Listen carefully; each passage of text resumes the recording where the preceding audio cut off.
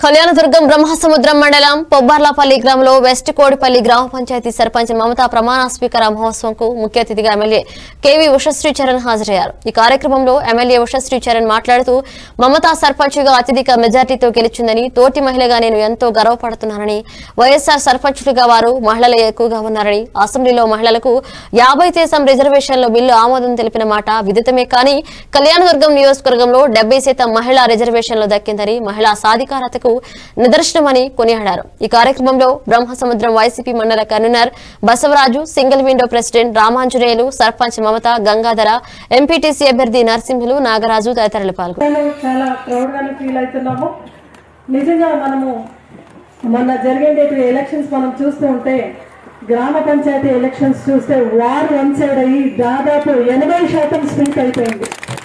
అదేవిధంగా municipality elections చూస్తే కూడా వైఎస్ఆర్సీపీ మనం సింబల్తో పోయినాము. ఎలక్షన్స్కి అక్కడ కూడా దాదాపు ఎయిటీ పర్సెంట్ స్వీప్ చేసుకుని వచ్చి మన చైర్మన్ మనం కూర్చోపెట్టుకున్నామంటే ఇవన్నీ కూడా జగనన్న ఆశీస్సులతోనే జరిగింది. ఆయన చేస్తూ ఉండే సంక్షేమ పథకాలు అయితేమి ఆయన చేస్తూ ఉండే అభివృద్ధి అయితే ఏమి పార్టీలు అతీతంగా కులాల అతీతంగా మతాలకు అతీతంగా ప్రతి ఒక్కరికి కూడా ప్రతి ఇంట్లో కూడా ఒక పెద్ద కొడుకుగా ఉంటూ ఆయన ప్రతి సంక్షేమ పథకాలు అందిస్తున్నాడు కాబట్టి నిజంగా ఇటువంటి ఫలితం మనకు వచ్చింది అని చాలా గర్వంగా కూడా చెప్పుకుంటున్నాము.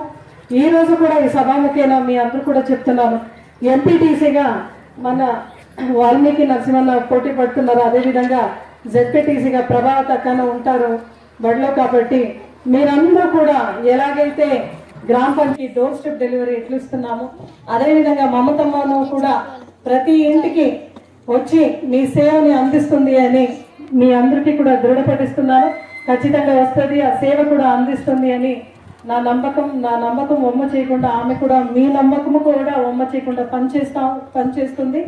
మీరు అడిగిన ఈ Kobbaripalli to Karnataka state border ఈ త్రీ కిలోమీటర్స్ ఏదైతే అడిగినారో ఖచ్చితంగా నవంబర్ లోపల ఈ పని అయితే స్టార్ట్ చేపిస్తానని కూడా మీ అందరూ కూడా సభాముఖంగా మాట్లాడుతున్నారు అడిగిండే సిసి రోడ్ అప్పుడే పెట్టించినాను అనుకుంటాను. ఒకసారి పెట్టించినాను. రైట్.